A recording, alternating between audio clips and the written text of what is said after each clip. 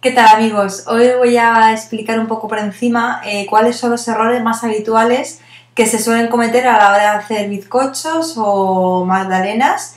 Y os voy a explicar con algunas imágenes de casos reales que he encontrado por ahí que me han pasado a mí de cuando un bizcocho os queda mal, no sabes qué le ha pasado y no quieres que, vuelva a suceder. Pues os voy a explicar cinco casos que son los más habituales de por qué pasa y cómo se puede evitar. Así que os pongo la primera imagen, que es esta. En este bizcocho que podéis, que podéis ver la imagen, el centro se ha quedado hundido. El bizcocho no está recto, sino que del centro tiene como no un agujero, pero sí tiene eso, un hundimiento. Eh, ¿Cuál es la, causa de esto? Pues seguramente es porque no habéis precalentado el horno. El horno tiene que estar siempre, cuando metes el bizcocho, a una temperatura mínima, que generalmente suele ser 180 grados, depende de la receta o de vuestro horno.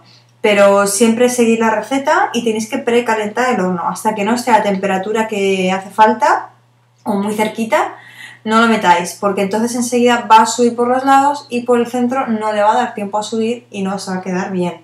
También esta es una de las causas por las que se os puede quedar eh, crudo el bizcocho por, por, dentro, sobre todo en la zona central, en, altura y en dimensión, en la zona del centro, en una bolita del centro de gravedad, ahí se queda a veces crudo porque la temperatura no es suficiente en, en el horno.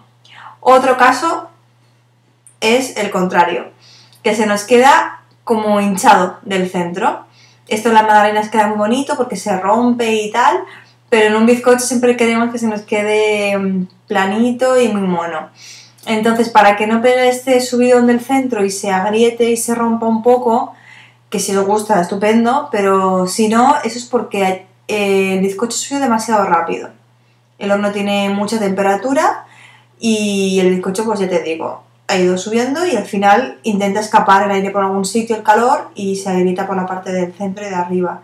Así que controlar, no ponerle mucha temperatura al principio, que no porque esté más fuerte el, horno eh, va a calentar mejor el bizcocho, ¿vale? Hay que intentar respetar las temperaturas. Em, otro caso que tenemos es, os voy a pasar una imagen de unas magdalenas. Este caso me pasó a mí, son unas magdalenas que aunque las veáis de colores es porque le puse colorante y son errores que a veces suceden porque las quieres súper gordas, que se hinchen un montón y les pones más levadura. Ponerle más levadura y llenarlas hasta arriba no es una solución para nada, ¿eh? es un problema. ¿Por qué? Porque la levadura al final hincha, es algo químico, te hincha mucho la, la magdalena o el bizcocho, pero no se mantiene, no es algo que se vaya a quedar en esa, en esa altura.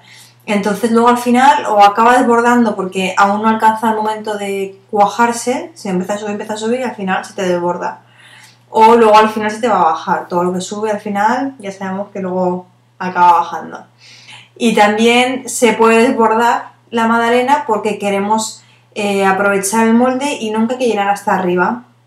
Los moldes siempre, como hemos dicho, unas tres cuartas partes, ¿vale? Un poquito más de la mitad tanto en bizcochos como en magdalenas, para que dejemos ese pequeño hueco para que la magdalena o bizcocho suba. Y luego puede seguir subiendo hacia arriba, eso no quiere decir que no suba, pero siempre dejarle un pequeño margen para ese pequeño crecimiento. Luego os enseño esta foto.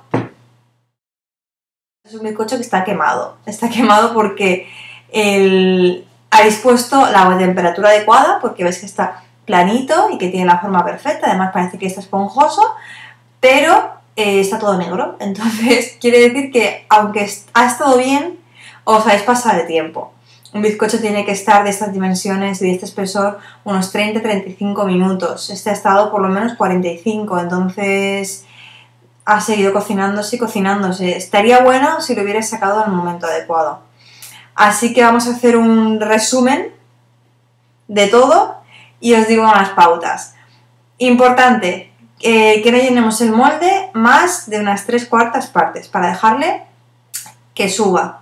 Tener el horno precalentado, siempre a unos 180 grados, ¿vale? O menos, pero vamos, depende de vuestro horno. Entre 150 y 180.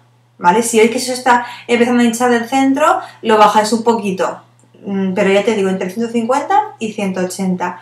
Y aproximadamente para los bizcochos en un tamaño estándar, 30-35 eh, minutos. Atentos cuando llegue este tiempo para ir pinchando con un, con un palito o con un cuchillo sin filo para que cuando salga limpio ya lo saquéis, ¿vale? En el horno ponerlo siempre a una altura media baja. Ante la duda, tirar para abajo para que no se os queme y no, no, impida que suba y que se mueva el bizcocho. Mm, bueno, yo creo que ya estas son unas pautas muy rápidas, pero muy básicas. Y si tenéis algún caso que os haya pasado, pues me lo preguntáis y os intentaré dar la solución para evitar que vuelva a pasar. Así que nada, espero que os haya servido de ayuda y no os preocupéis que a todos nos han salido las cosas mal o regular o no tan bien como esperábamos, pero para eso está la práctica, para seguir intentándolo y al final dar con el punto correcto del horno, que es bastante difícil e importante, y eh, vigilar y, hasta que le encontréis el, el punto perfecto y haciendo pruebas y listo. Pues nada, espero que salgan a partir de ahora todos los coches súper bien. Un saludo y nos vemos a la próxima.